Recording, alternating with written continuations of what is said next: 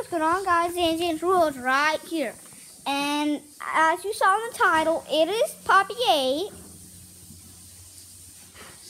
And he's circling me for some reason with this dog toy fox. No, Machado, come here. I wanna you see the red? That's his fox. You see, look, he's eating it. Well, it's a dog toy. You see, it's a fox.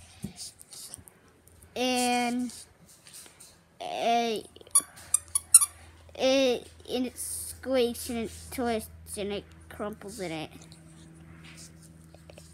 Uh, and it's red and it's white and Machado likes to eat it and it's a dog toy and uh, I don't know what to do other than end the video.